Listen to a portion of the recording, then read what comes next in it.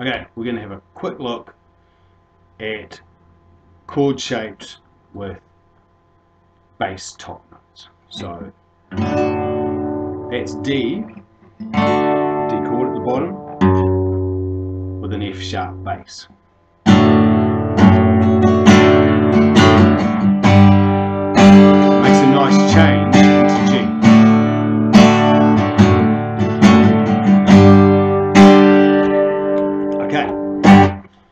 That gives you the idea of where we're going with this. So, sticking with the D shape at the moment,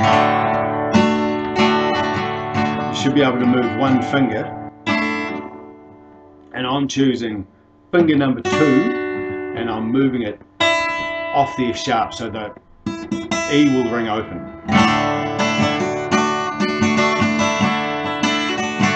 And that gives a form of D5. So that's D5 with an F sharp. You can add your pinky in. You can do that with or without the bass note. And that makes, with the pinky, is D suspended. Okay? Very useful chords.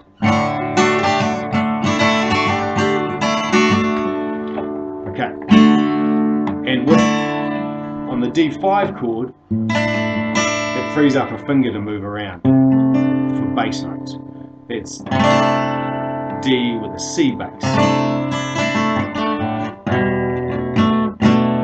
Slight move of fingers, you can play D with a B bass.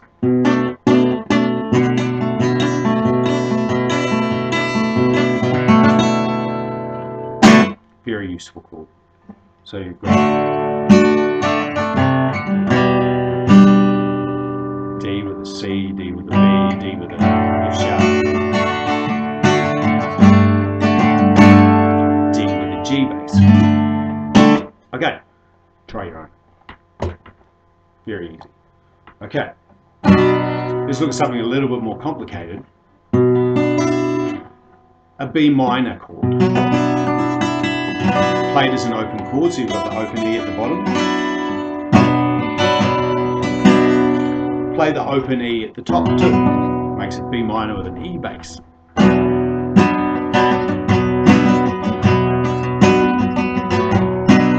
Add the F sharp.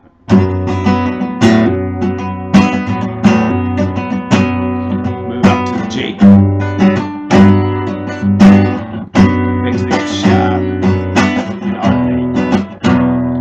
something fun for the bass player to play. So you're just strumming B, and he's got B, E, F sharp, G, back to F sharp, to E, to B. Okay. Lots of fun to be had with movable bass lines. And I do recommend you try own. And remember, if you've got really good at the D one,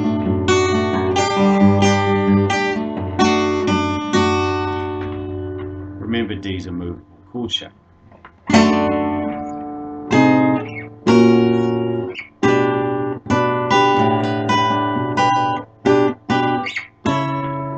And more so with a bass note.